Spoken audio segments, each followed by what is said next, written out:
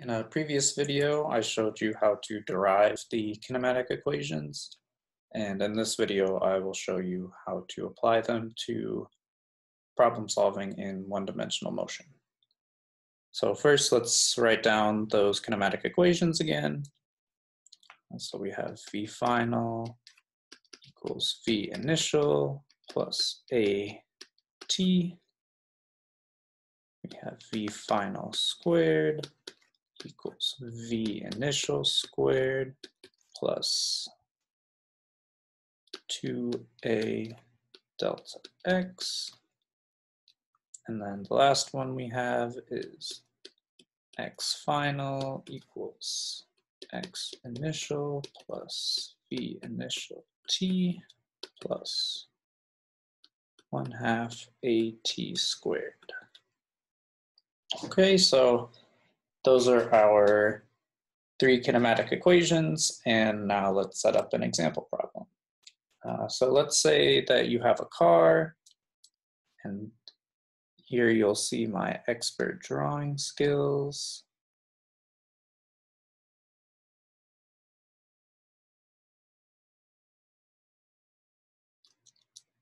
Okay, so here's your car.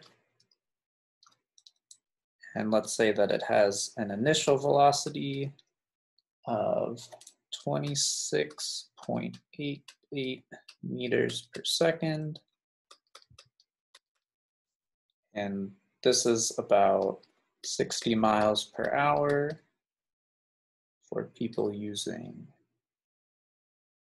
American units. And just from a quick Google search, the uh, average stopping distance for a car um, moving at this speed is about 133 feet, uh, which is about 40.54 meters.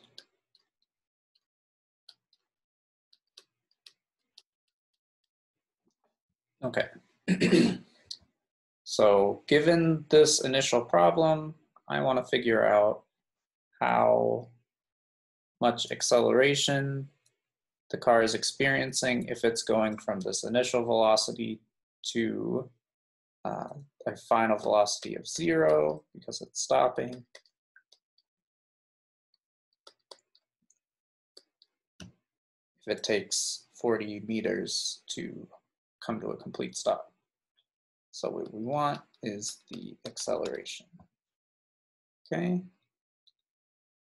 So let's solve this on, well, I guess on this first, before we go to a new page, let's pick the kinematic equation that we want to use to solve this. Okay. So just looking at our list of variables and what we want to solve, we've got an initial velocity, we've got a final velocity, we have a delta x, and we want to find the acceleration. So I think we should use this equation. Now the other two equations have time, so we could solve for time and then plug that into the other equation to find the acceleration, but that's extra work that we don't have to do. Okay, so we'll use this equation vf squared equals v initial squared plus 2a delta x.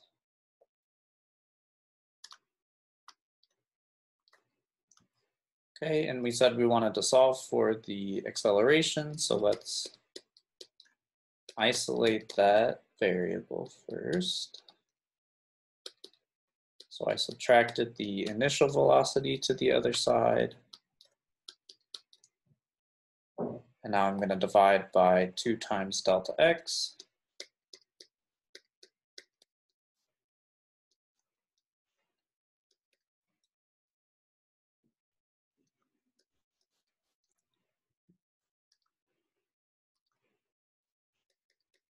Okay, now we've solved for acceleration.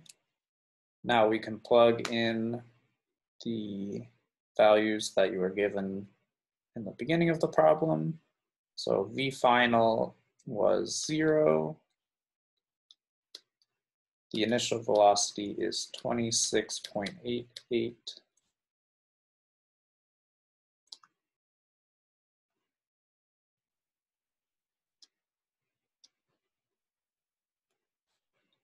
meters per second squared,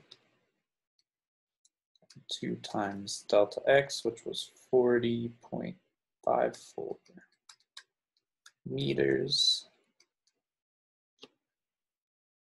Okay, and then when you plug that into your calculator, you get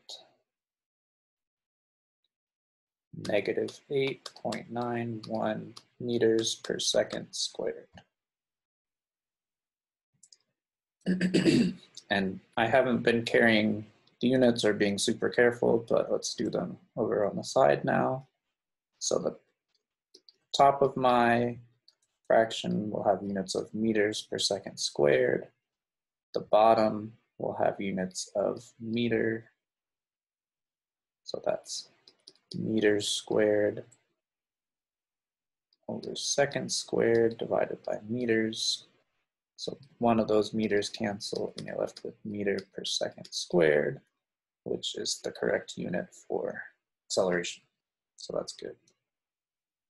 And now what this negative sign is telling us for the acceleration is that the acceleration is in the, well, I guess we've defined uh, our v initial was this direction, and we said that that was positive. So this minus sign is just telling you that the vector for the acceleration is pointing in the opposite direction.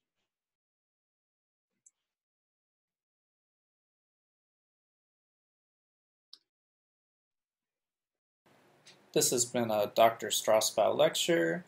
Keep the credentials. Don't forget to like, subscribe, and ring the bell for notifications.